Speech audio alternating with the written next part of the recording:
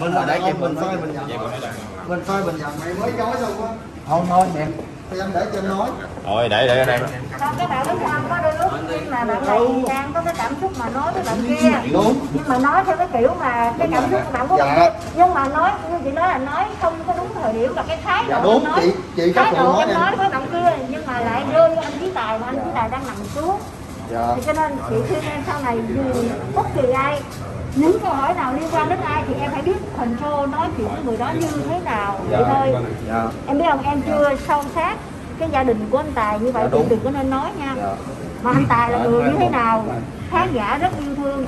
Em có thể em đụng với một người là vô danh tiểu tốt cũng không nên em. Huống chi là đụng với nghệ sĩ mà anh tài là người là quá trời khán giả dạ yêu em thương em em em không hề cố ý. Ok, em không hề cố ý. Em không phải- cái thái độ của bạn rất là coi thường thay đổi và xin lỗi Dạ. mọi người là ok nha. Ok.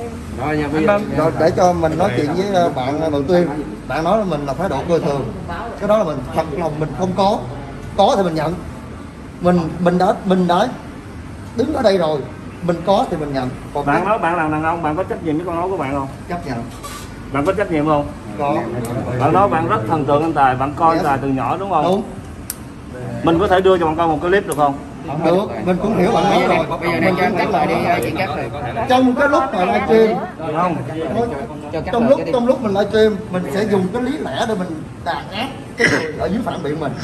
Em Đó. em em em sẽ dùng lý lẽ đàn áp lại nhưng hai cái đó nó hoàn toàn mâu thuẫn với nhau em sao để để cho mọi giữa một cái em đang nói là em đang rất thần tượng chí tài hoài linh đúng không còn một cái kia em nói tao chưa bao giờ tao coi chí tài hoài linh tao coi ờ, dân sơn võ liêm đúng chưa nhưng cái thái độ nó lại là một cái đó của em và đến bây giờ cái sự phản bác của em nó không có hay rồi chuyện, gì anh chuyện gì anh chuyện gì ok em đang nói chuyện bình thường tụi em đang nói chuyện bình thường à tụi em chưa động tay động không có động tay động chân gì đâu ở đây là tôi lúc bây giờ em ơi bây giờ em càng nói em càng sai em Nói đủ rồi. nói là Đủ rồi, đủ những rồi. gì tôi nói tôi đã sai thực sự tôi muốn xin lỗi khán giả và xin lỗi anh chí tài Đâu, mày nói vậy Dạ rồi xin lỗi chị Rồi lúc nào em làm cái clip đó?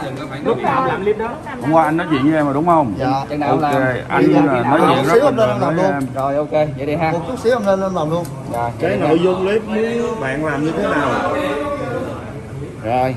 Thì à, nội dung clip á, mình sẽ xin lỗi à, à, trước tiên là em xin lỗi anh chí tài và chị heo chị bé heo. Dạ đúng. Dạ, và đặc biệt xin lỗi khán giả của anh chí tài. Dạ. Em đã tạo cái sự hiểu lầm cho khán giả đối với vợ anh Chí Tài. Rồi vậy đi. Em phải xin lỗi anh Chí Tài. cái đó Xin lỗi khán giả. cái đó rất rất nặng luôn. Đối với khi em nói chuyện vậy chẳng khác nào em giống như em đang nói. Em gieo vô cái đầu em khán gieo vô giả đầu khán cái giả có đó. nghĩa là vợ chồng anh với tài đang có một cái gì đó đang rất lớn. Nhưng mà trong khi người ta đang rất hạnh phúc với nhau. Rồi cái đó em sai cái đó em sai. Rồi rồi chị. qua bây giờ này em chỉ cần lên lẽ thôi em không có Không, thôi được rồi, được Em giải thích là kèm. anh không cần em giải thích em anh chỉ cần em xin lỗi. Còn cái chuyện đó là chuyện xong rồi vậy đi ha rồi thôi bắt tay vô là em đừng có nói cái câu nói tài với bị đừng đừng đừng bị thì là nữa rồi vậy đi chị hưởng với anh trai bắt tay rồi để nó gì nó làm xin lỗi rồi vậy. rồi thôi đại diện đi bầm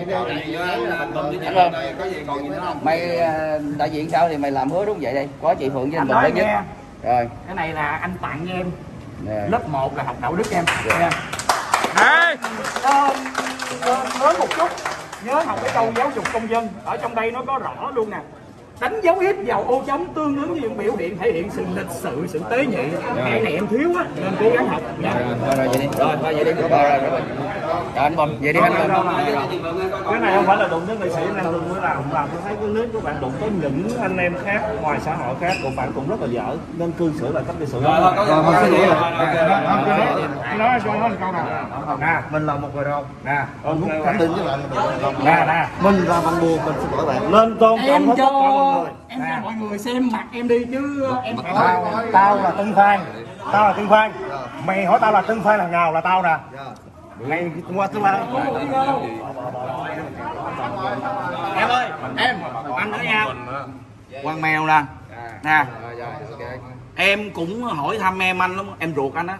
Là quản lý trí tài á. Biết rồi đúng không? Nha. Em là hoàng chủ quản lý trí tài nói chung là anh em mình biết nhau thôi. Ok cố gắng mình đừng có phát ngôn bậy bạ nữa nó kỳ lắm. Phát ngôn không hay đâu. Mình đàn ông chứ không phải đàn bà.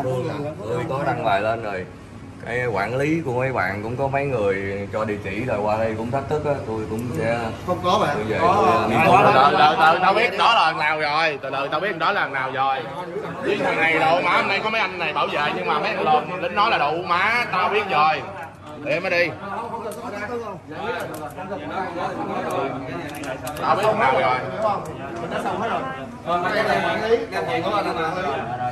Thôi. Rồi, rồi đó. Anh em đây. Dạ rồi, có gì đây. Cái gì cũng có sai của nó. Khoan. Chú, chú bảo đảm cho con.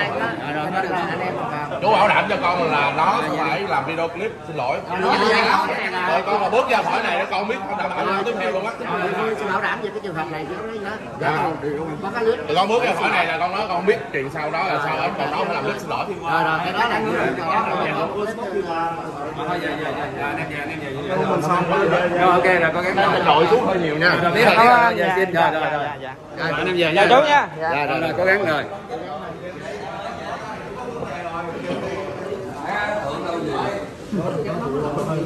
đâu vậy thì một